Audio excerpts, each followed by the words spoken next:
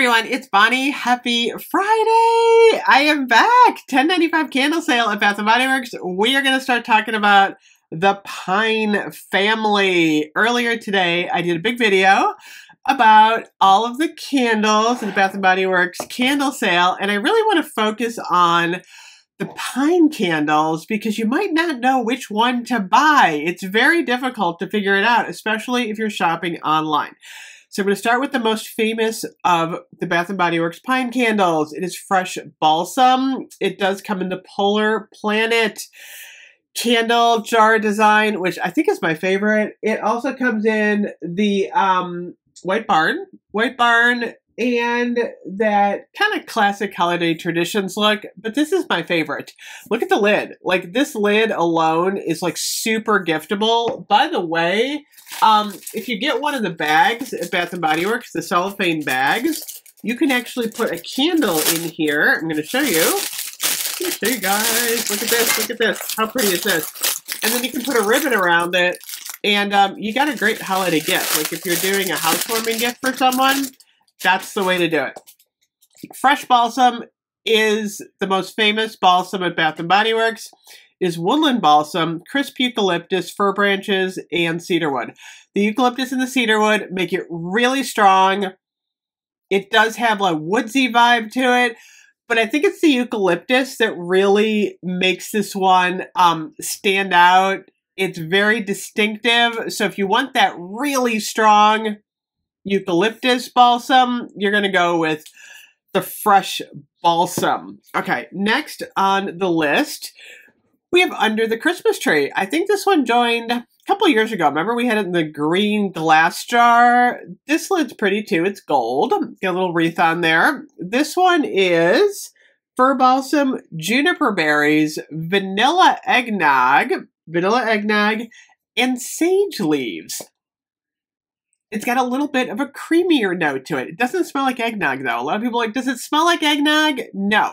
It does have this very interesting, creamy, um, slightly dried, like, not flowers, but like dried outdoorsy, um, needles and leaves. It's got like a, like an herby vibe to it, but it's also got the creamy vibe it's funny because I really think after like smelling these for the past like half hour and talking about them for so many years, um, Under the Christmas Tree is actually my least favorite. I don't love that vanilla eggnog in here. I think it's a little bit confusing, and um, it's just it really is not my favorite. I've, I've figured that out um, past couple years. Which brings us to Tree Farm.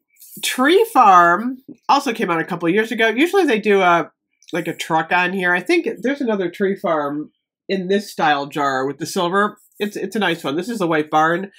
This one is crisp pine needle, warm cedar, and spiced apple. I love Tree Farm. Love it. Apple that really brings this one together. Um, it's got the it's got cedar in it. Um, fresh balsam has cedar wood. So it's got like that kind of cedary note to it, but it's really the spiced apple that gives this one the kick. To me, it smells very outdoorsy. It's very homey. Um, crisp pine. It kind of it feels like it's snowing. Uh, but the apple note really gives this one the unique scent. So if you want a touch of fruit in your pine, go with Tree Farm. Okay, next up we have Frosted Forest. This came out a couple years ago. A lot of people are saying the scent notes are different. I seem to remember this smelling the same though. I don't have another Frosted Forest on me, but it smells really good. So this one is winter pine needles, frosted eucalyptus, and icy peppermint. So it's got the eucalyptus and the pine like fresh balsam, but it's also got that icy peppermint note. I love this one. So the peppermint just gives it that really cool, wintry, it's snowing all over the place. This to me is the snowiest of the four.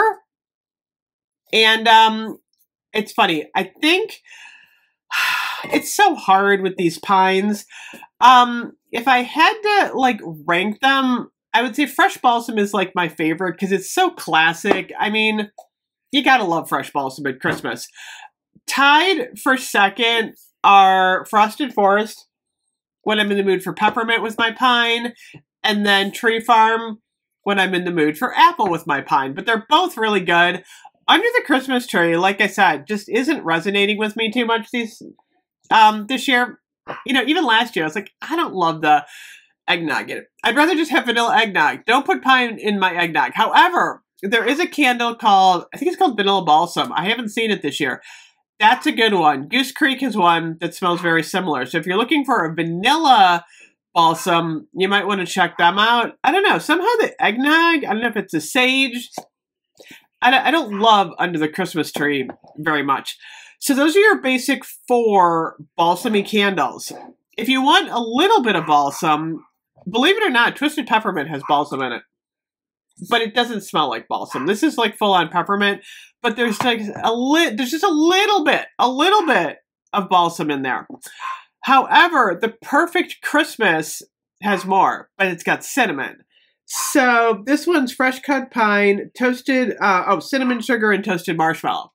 So if you like your pine with a lot of cinnamon, I mean, we're talking a lot of cinnamon, and some marshmallow, you're going to go with um, the perfect Christmas. This one actually has a really strong spicy note in it that a lot of people find slightly off-putting. I like it though. I mean, once you start burning it, this is a this is a favorite for a lot of people, and it's like powerhouse, strong, strong, strong. So I'm going to review a lot of these individually.